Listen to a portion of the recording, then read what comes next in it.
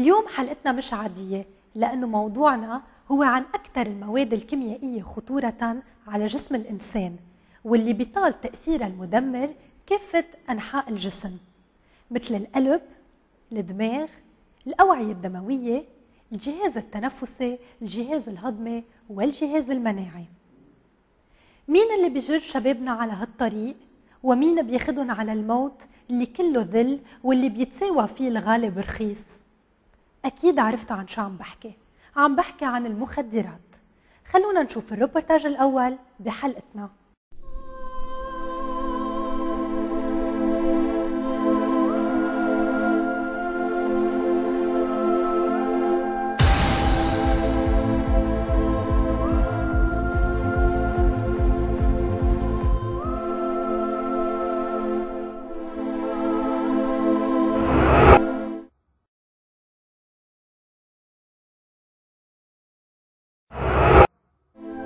طريق طويل أسود بجرجرك مثل الغريب على مكان يمكن قطعة من الجنة بس هو سراب. نار بتحرق الروح. من دخان أخضر لنفس أبيض لجسد أخضر. مثل العبارة بيصير القلب. مشوار الظلام.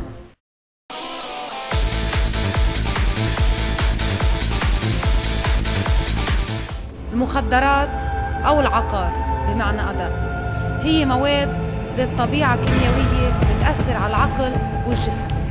مع الاعتياد على التناول بصير هناك ما يسمى بالتحمل. وهو حالة فيزيولوجية مكتسبة تتميز بقدرة الجسم على تحمل العقار. اللي بأدي للحاجة لأخذ جرعات متزايدة للحصول على التأثير نفسه اللي كان متاح بالأصل بجرعات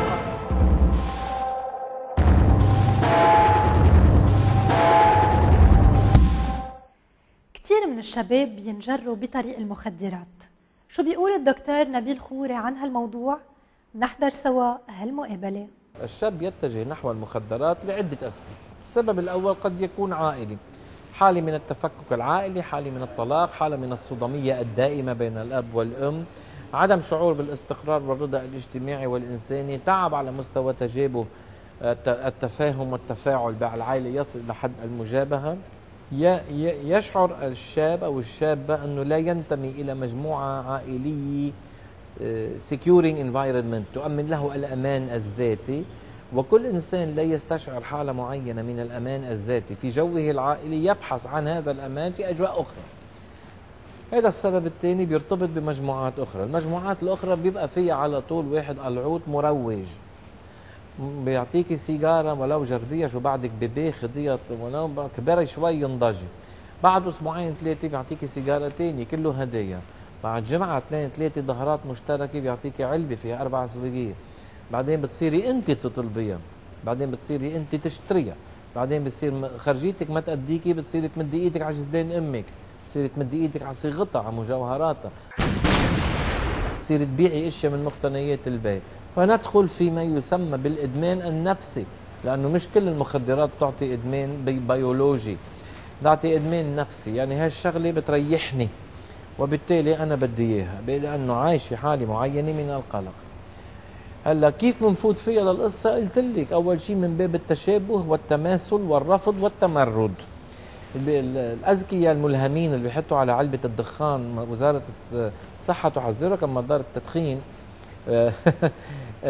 ما يمكن بيدركوا يمكن ما بيدركوا ما بعرف. بس هي المحفز الأول إنه واحد يدخن. يعني عم بدفشك عليها لأنه المتمرد المراهق بيعمل كل شيء عكس ما هو مطلوب عكس القانون. عم تعطيه سبيل للتمرد لا يضر ولا يسيء. ببلش يدخن نكيف فيكي كيف سلطة أهله كيف سلطة الدولة. كيف سلطة المدرسة كيف سلطة الله كيف سلطة المجموعات السياسية التي فقدت تقريبا كل مصداقية لها عند الناشئة. ليش بفوت؟ ليعبر عن حالة تمردية ولينفذ كوابت وبالمقابل لحقوا عليه بس ندخل بمتاهات الإدمان على المخدرات. ننتقل من عالمنا الأساسي إلى العالم الآخر الذي يريحنا. يمكن أغنياء ومغنجين ومدلعين ومربى القطن وكل اللازم بس في حالة من الملل والانتماء إلى المجموعة الجديدة يبعد الجو عن حالة الملل وبالتالي بفوتوا بهالمتاهة هيدي يعني شو بتعمل له بتلغي له إمكانية التركيز تبعه بتضعف له مخزون الذاكرة بتخ... بتوصله إلى حالة معينة من الارتخاء الذهني الارتخاء الفكري الارتخاء الإنتاجي قد توصله إلى أمراض نفسية كبيرة.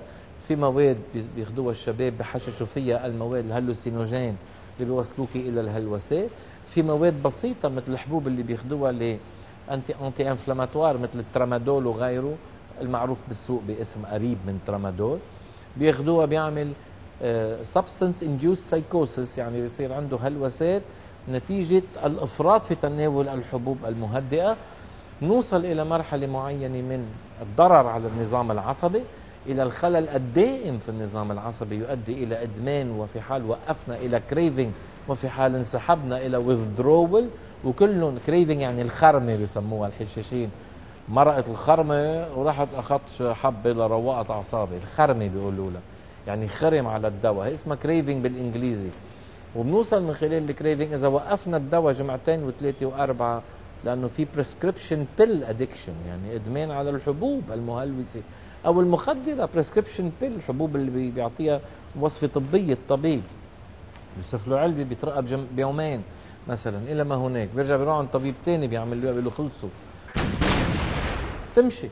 تمشي وبتتكثف حتى بشكل كثير. بيدمن على حبوب prescription pill ممكن يوصل لل withdrawal إذا وقفها يعني حالة معينة من الضغط العصبي والتشنج القوي إذا وقف الحبوب اللي هو مدمن عليه لفترة زمنية معينة. وممكن توصل إذا كثف وخلط وهلا في هودي التنك اللي فيهم كحول وفيهم energy drinks بياخذ الدماغ رسالتين مضادتين. بياخذ مثلا héroïne اللي هو محبط مثبت يعني it's a depressant it's not a stimulant it's a depressant بيوصل له. آه وبياخذ معه بذات الوقت energy drinks من اللي بيعلي له منسوبه بهذا stimulant بياخذ الدماغ رسالتين مضادتين بين stimulant وال depressant بيعيش حالة معينة من القلق والأرق والاضطراب يرجفوا إيديه يوجعوا راسه بيقوم ثاني يوم مهتاج عصبيا ومش عارف ليه. فجأة بيروق وبيهمد وبلش يبكي مش عارف ليه. بيعيش حالة حزن لأنه دماغه تلقى رسائل مضادة وعم يجرب يتفاعل معها بطريقة أو بأخرى. والطامة الكبرى إذا كثفنا بهالمواد هيدي ممكن نوصل لل overdose يعني overdose نسبة عالية جدا من المواد المخدرة بتخلي الإنسان يقشط ضغطه وينزل تحت الضغط الواطي diastolic ينزل تحت الخمسة وال systolic يضل بين الثمانية والعشرة. ممكن يعمل bradycardia بعد ما يعمل tachycardia بدق قلبه بسرعة كثير ممكن يعمل هبوط بسرعة نبض القلب بسرعة كثير bradycardia بيتهور القلب بيروح الزلمة overdose هالأمور هيدي. هلا كيف بنتعايش مع الإدمان قبل ما يعني نوصل لمرحلة أول شيء من العلاج النفسي ومن rehabilitation center المؤسسات اللي تعنى بشؤون الإدمان. وبعدين نفوت حالنا بشيء اسمه convalescence period يعني حالة الإبلال أو الشفاء لنحسن حالنا من عدم ولوج المسلك من جديد في منهم بيخسروا معركتهم مع الكوكايين وسط مع الحشيشة سهلة. إمكانية الإبلال من الإدمان على الحشيشة سهل. سهل إذا صمم راسه الإنسان حتى براسه ودعم فعليا من معالجين نفسيين مثل خلقوا أطباء نفسيين أو أطباء أعصاب في بعض الحالات. آه، من الكوكايين صعبة ولكن مش مستحيلة. من الهيروين شبه مستحيلة لأنه الخرمه بتقطع بمنسوب أوسع ولأنه بيسيطر سيطره مطلقة على النظام العصبي. وباقي المهلوسات الأسباب الأدوية المسببة للهلوسة. الصعوبة تكمن في الخلاص منها أكثر من الأمور. في تدريج.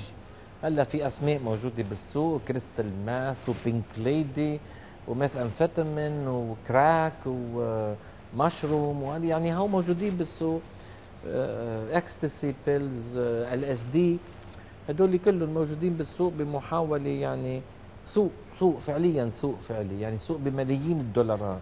لذلك الرشاوي هون والرشاوي هونيك والتفلت هون التفلت هونيك والمتعاطي بسموه هن المتعاطين بسموه التعاطجي عم يحارب بذات الطريقة اللي عم يحارب فيها التاجر.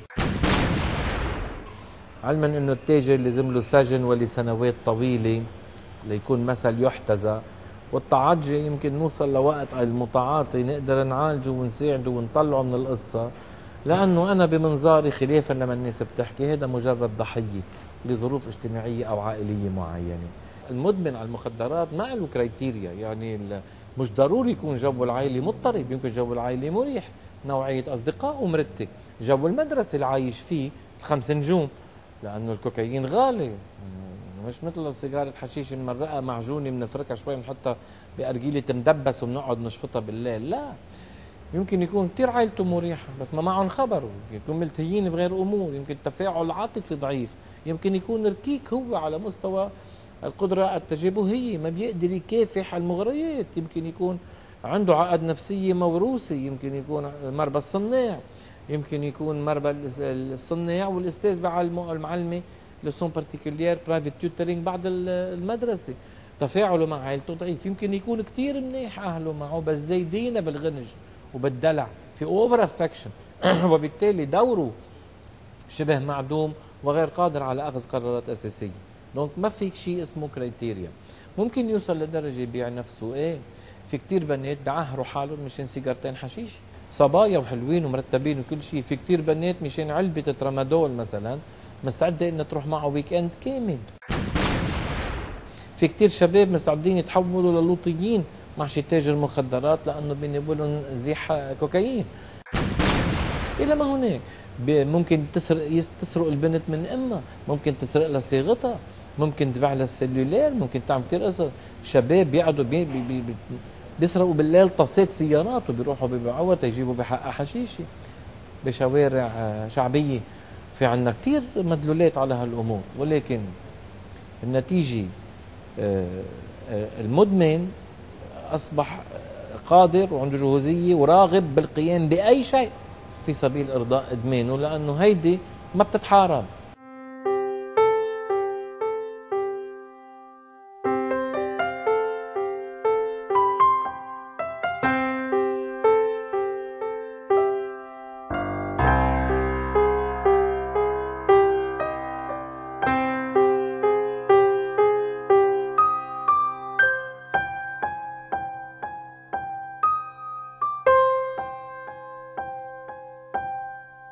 يعني آخر ما يعمل الاهل إنه ابنهم بدخن آخر ما يعمل ابنهم مدمن بيكتشفوها بالصدفة بيجيهم شي تليفون نحباش آخر السهرة إنه ابنكم لقطني آه، حو موجود مخفر حباش بتهمة آه، ابني أنا معقولة؟ لا بيتعاطى أعوذ بالله أنا بعرفه أنا بشمل له تيب وأنا بكتشف أنا كذا.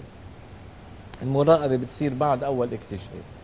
في منهم عم يتابعوا على مستوى توجيهي من قبل. مخفر حباش مشكور العميد مشموشي على عقيد مشموشي على الأمور لأنه عم يتعاطى معهم بقساوه ولكن كأب وعم بيعلم الأهل كيف يتواصلوا مع أولاده. وفي منهم عم عم يتم التعاطي معهم بشكل يعني آه، غير مقبول.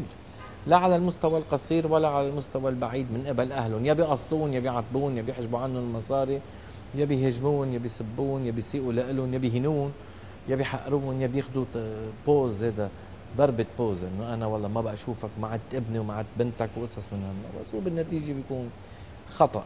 هذا بده احتضان بده مواكبة بده مساعدة بده إشعار إنه هو في عنده cocon familial family cocoon حاضنته مساعدته مريحته مطت من قدراته التأقلمية مع المجموعات الشريرة ومفعلت له قدراته التأقلمية مع مجموعات أفضل.